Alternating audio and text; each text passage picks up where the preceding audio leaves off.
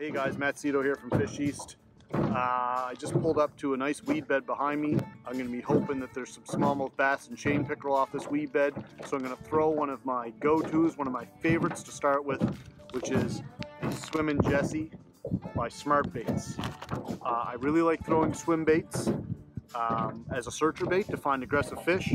And, you know, if I don't find any aggressive fish, then maybe I start to slow things down and, and think of different presentations. But I'm going to start with this. I'm going to show you guys how to rig it up weedless so that you can bring it through all that uh, heavy cover. So I'm going to start with a 3 or 4 aught wide gap hook. I'm going to take my swim bait. I'm going to put it in the tip of the bait there. I'm going to pull it down about a centimeter and poke it through, about a centimeter, okay?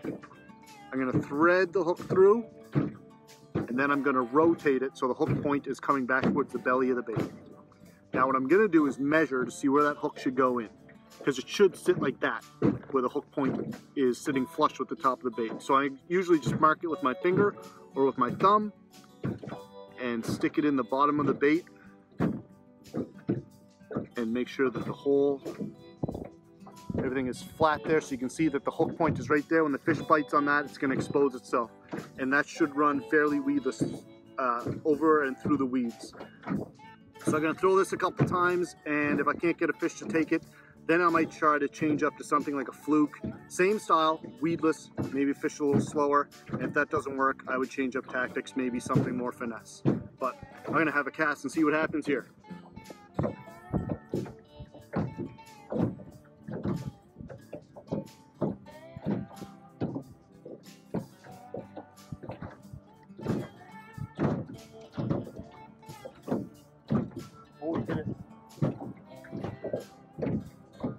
Got him. Fish on.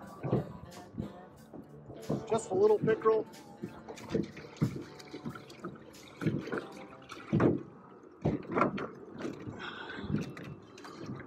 But that's where they are, in the weeds.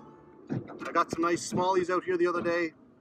Uh, that's really one I want to catch today, but these guys are always hanging around the weeds. So try a swim bait out, rig it up Texas style like that, run it through the weeds, and uh, you'll be into fish. I promise you that. I'm Matt Fish On, and Fish East.